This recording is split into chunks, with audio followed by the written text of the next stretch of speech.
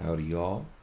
This is Magus Gaius Mycelius here to talk about making grain spawn with wheat berries, red wheat berries, or wheat grains, wheat kernels. They're called berries. I don't know if they're technically berries or not. Uh, I have this Paul brand. I don't know if I'm pronouncing that correctly.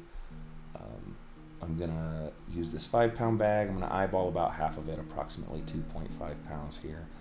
That gives me enough for six jars. You can see I spilled quite a bit. Uh, try not to do that. Uh, I just had to cut the bag open. If you know how to get those twist ties open at the top, if you if you can pull on those threads correctly, uh, they just come apart and open up for you and you have less likelihood of getting bits of bag in the results. This particular brand, hi Sylvester, Sylvester is a kitty boy. This particular brand tends to have a lot of peas in it. I don't know why.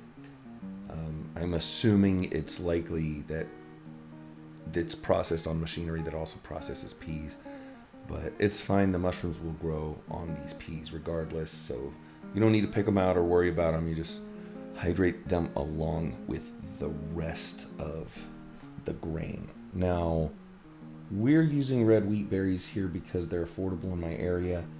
We could be using something like um, rye berries are very popular. Uh, they require a little bit different treatment than I'm than I have here, but um, uh, I like these because they're very forgiving. I'm going to add some garden gypsum. This will add calcium I just do a couple handfuls. I don't really care very much about measuring it. You don't need a lot. The amount that I put here is probably more than I need.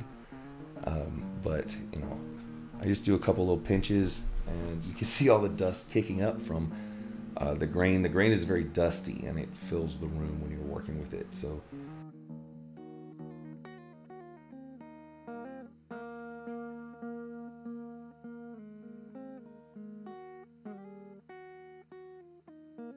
We're going to fill this with water.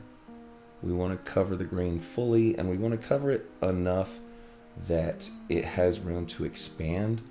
Uh, this should be more than enough. Uh, if you don't put enough water in there, sometimes you'll come back and you'll see it's not fully hydrated because a fair amount of the grain is exposed above the surface of the water because the grain underneath puffed up. So, then make sure you have like a half inch to an inch um, above the grain level to, to really make sure you're hydrating these.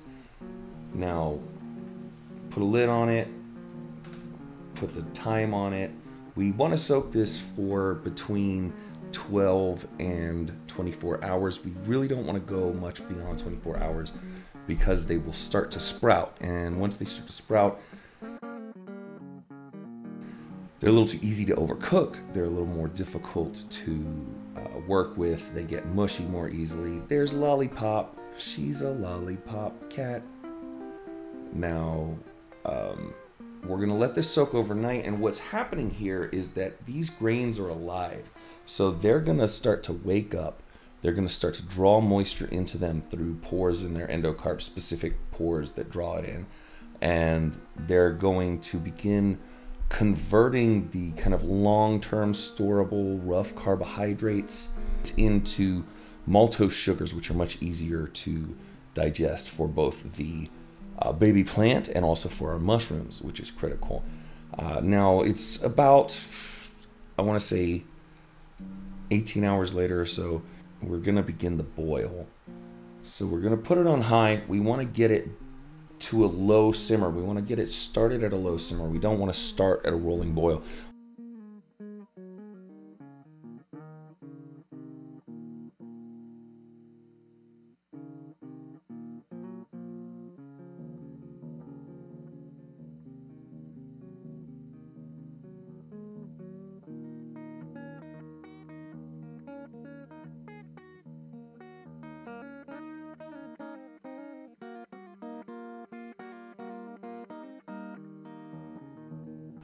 You can see I'm stirring very thoroughly. You want to make sure that you don't let the grains settle in such that too many of them are resting against the bottom of the pot for too long because you'll burn the grains and that could cause problems. It's also very stinky if you do it.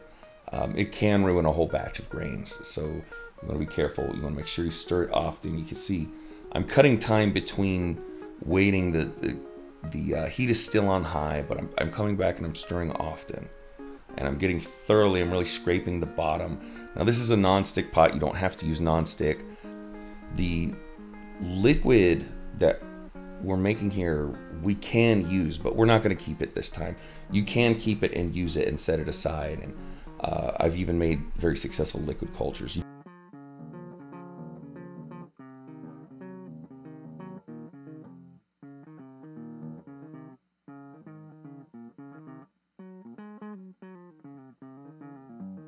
Can see the water here is beginning to boil. This is a, a proper simmer. And that's about where you want to get it. Now, once it's simmering, you want to um, set a timer for 15 minutes. You can do 20. 20 minutes is common. I wouldn't push it past 20. I usually walk away from it at some point and forget about it. So I like to set it for 15 because uh, that helps me get to it sooner rather than later. Um, I'm going to turn the heat down a little bit. Uh, I turn it down quite a bit here. I actually turn it back up to about six in a moment here. Uh, but I, I kind of round it off down to like a low, medium low. Um, there's my timer, 15 minutes. And then just keep uh, keep stirring it.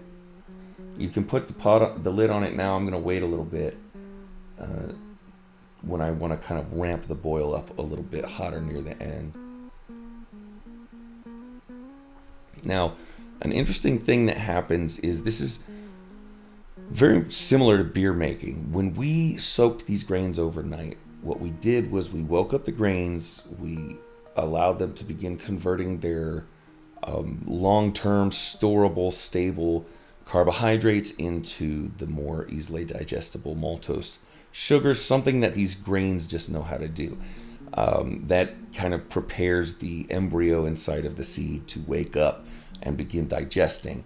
And that's actually the first step in the beer making process. It's called malting. And they'll take grains like rye, uh, barley mostly for beer. You can use wheat for beer as well. Uh, give it about 18 to 24 hours to soak, depending on the grain. And then they will put it in a kiln and in that kiln they'll heat it they'll smoke it and um, that kills the grains. Now what we're doing here with this boil is we're doing exactly the same thing. Instead of using a kiln we're using hot water but we're essentially killing these seeds. This is not part of the sterilization process.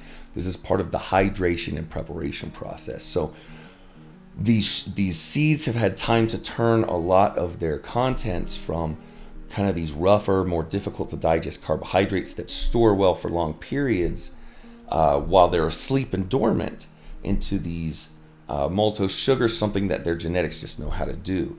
And uh, those maltose sugars are also easier for our mushrooms to digest, which is a critical part of the soak and simmer method.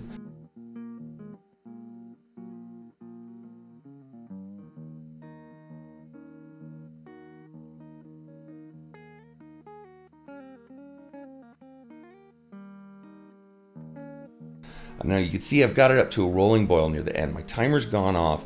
It's been 15 minutes. I actually stepped outside and did some gardening, so I think it it was a little over. It was closer to 18 minutes that it was on the boil.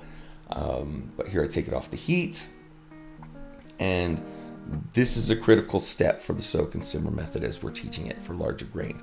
We want to get it over into a strainer that is suitable for grains. Um, this the grate in this is small enough for almost any kind of grain. I can I can pour millet, I can pour rice, I can pour anything in here.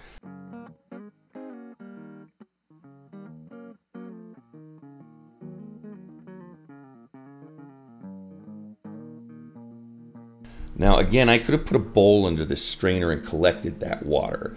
Uh, I decided not to today. I just don't have any use for it. I don't want to store it and it'll go bad before I have reason to use it. So I'm just letting it drain away. This is a critical step. You want to get some cold water running. You want to stop this cook. You do not want these grains to cook any further than we've already cooked them. So you want to get cold water going. And you want to be careful about the pressure here. Um, if you have just the right size strainer like I do, you can accidentally spray a lot of these grains out and into the sink. You can always collect them, but that's a pain. Uh, so you want to be careful, but you want to give it a thorough spray down. You want to make sure you stop all this steaming. You want the temperature to drop dramatically in this entire body of grain here. Um, for wheat, uh, there is a step that's critical after this that we're going to skip. Uh, that's it, it's critical for other grains. It's critical for rye berries. I'm pretty sure it's critical for oats um, any of the big grains besides wheat. For wheat, it's not a problem to skip it. We're going to go ahead and skip it, but I'll describe it now. After we rinse these grains, if we were working with rye berries, for example, and it's optional, you can also do it with wheat, um, which optional with wheat. We would leave this strainer to drain for 12 to 24 hours, such that the outside surface of all the grain becomes dry.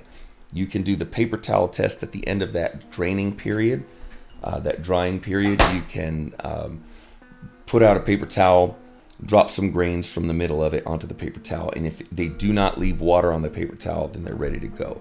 Now we're skipping that step here because red wheat berries can handle it. It doesn't bother them if you do that step I get no different results out of it if I if I do that step or if I don't. So we've gone straight from the rinsing process after letting it drain for a few minutes to packing it into the jars here. Now I know that five scoops will fill each jar to the height that I want, leaving enough room for me to shake the jars. Um, and also that the approximately 2.5 pounds that I eyeballed into the pot will fill these six jars with five scoops each. Um, I showed off the grain there for a moment. That is uh, what the grain's supposed to look like. That is perfect.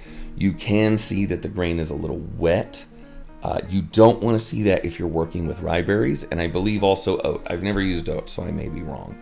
Um, you also want to avoid pouring in any excess water like you see me doing here. You really want for rye berries in particular to be fully dried out. They still have their internal moisturization from the first soaking step and but you don't want the external exterior of those rye berries to be wet. Again, with the red wheat berries though, uh, it's not a problem. They have a way of reabsorbing the water that um, I've just never seen in other grains. So here I'm prepping the lids. Now you can do lids with self self healing injection ports, whether you buy ports that you uh, drill precise holes for and fit into the hole into the lids, or whether you use heat resistant silicone and just punch some holes. Uh, if you do the silicone method, you probably want to prep these these lids ahead of time. Now I do have a flow hood, and I will show its use. And uh, as a result, I I don't need to do a lot of lid prep here. I'm just gonna punch some holes in these. I am using a drill bit. I usually use a nail, but I couldn't find my nail I used for this, and, and this was nearby, so I just grabbed it. Um, I just punched these little holes in it, and then I put two layers of micropore tape each over each of these holes.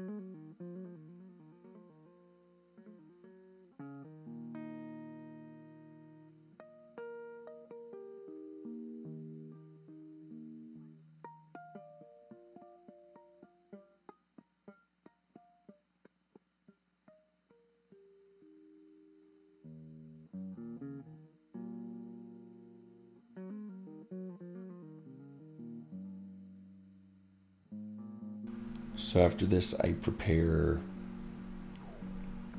six uh, foil sheets of heavy duty aluminum foil and I get ready to cover them up. Now, one thing you'll see me doing here is I'm tightening all these lids all the way. Now, I'm going to loosen them again, but if you know that they're tightened, then you know that they're in a certain orientation, and it's easier to not accidentally over loosen them when we go on to this next step. Now, I want to give a shout out to Willie Myko, uh, who who really detailed the right way to to apply foil to jars like this in, in one of his videos. I, I was doing it sloppily before and really taking the time to do this right improved my uh, contamination rate. So first you want to make sure your lid is tight still and then loosen it by a quarter turn. All right, before you start putting the foil on, loosen it by a quarter turn. It doesn't matter. Uh, don't try to feel for the right amount. Just know that you had it tight, loosen it a quarter turn. Then you want to brush the foil down the sides such that it's as close as you can get it. And at this point, you try to start shaping the foil around it to fit the form of the lid. You really want to get it as form fitting as you can into the seams of of the lid and the lip of the jar. We'll do another one here. It doesn't matter which way the foil faces, it's, it's not important.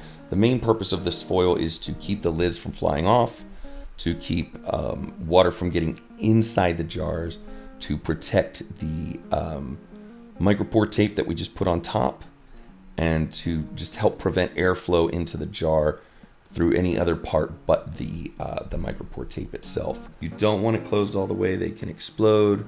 Um, they don't always. It's sometimes just the micropore tape is enough pressure relief, but uh, it, it decreases the integrity of the jars over time. So you want to make sure you have that quarter turn open.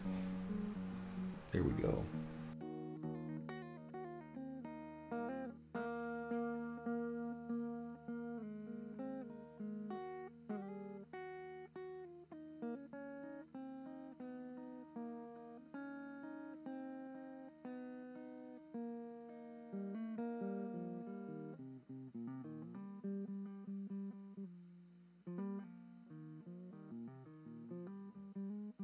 We're gonna move on over to my pressure cooker. Now this is a Carey DS something or other. It is an automated tabletop pressure cooker. It's similar to an Instapot, but it's very much not an Instapot. Uh, don't go Instapot. There's only one Instapot model out there that I, I found in my research that can do pressure canning, and it is not big enough to handle quart-sized jars, which is pretty much necessary.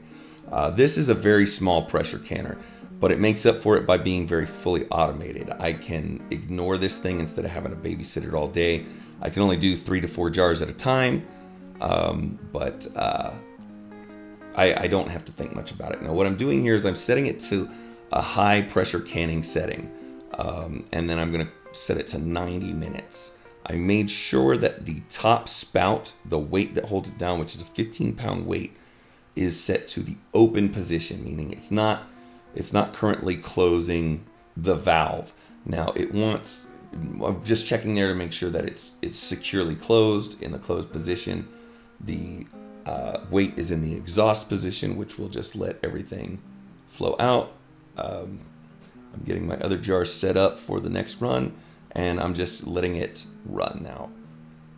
Now I do have to do a little bit of babysitting, so it's about to First, it has to build up temperature, and it's building up temperature and a little bit of pressure, and then it's going to beep at me. You're not going to hear it. I've cut out that part of the audio.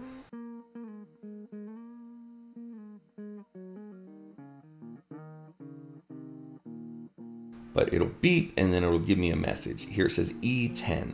This particular model might differ from yours. Um, that E10 I interpreted as you have 10 minutes till an error happens. When that E10 happens, what it's telling me is to close that valve on top, as you saw me do.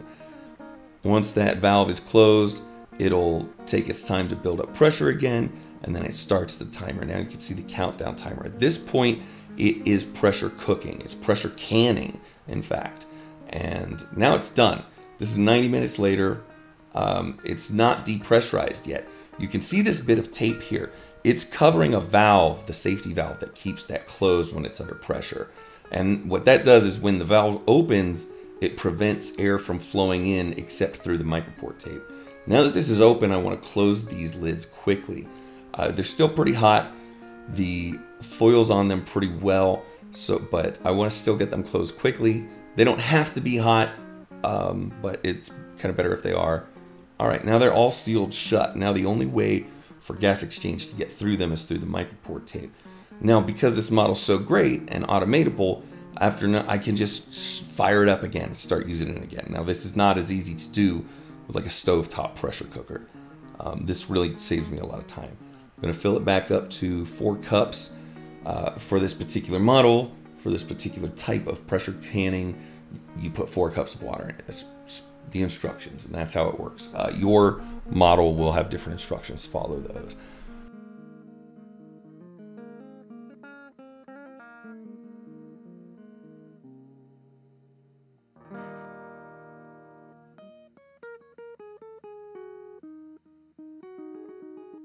But here we've got it closed. We've opened the vent again.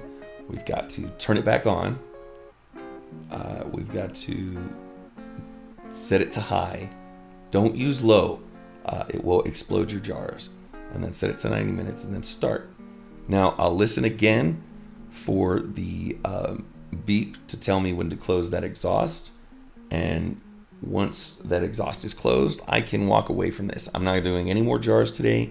I could go to sleep and let it sit overnight and ignore it. Um, here's the grains. They look a little more wet than you would expect them to. Now, whether or not you go through the drying step with wheat berries, they're going to come out looking like this. They expunge, expel some of their moisture from the initial soak during the pressure cook. And you're gonna see that whether whether you do the drying step or not, you're gonna see that. If you if you did rye berries and they come out looking like this, that might be a problem. These uh, wheat berries will reabsorb that water. By tomorrow, they will look completely different. Here they are again on the shelf. You can see again, this is a lot more moisture than you normally would want in your finished grain. But these wheat berries will reabsorb this. And even again, if you even did the drying step that I discussed earlier, they would still come out looking like this because they do exhaust some of, expel some of their water. In fact, here's an example of what they'll look like tomorrow. This these looked exactly the same when they first came out. Note how the grains are still intact, they're still full, and they can flow freely. They're not stuck together, they're not mushy, they're not goopy, they're not exploded. Um, and then here's a jar that is beginning to colonize already. This one's only been inoculated a few days. It's starting to grow. Uh, it's very healthy. I don't see any signs of contamination. There's a little bit of bag in there. You can see that thread. It's from the bag. Uh, but yeah, that's how it goes. Anyway, thanks everybody for listening. Uh, really appreciate it.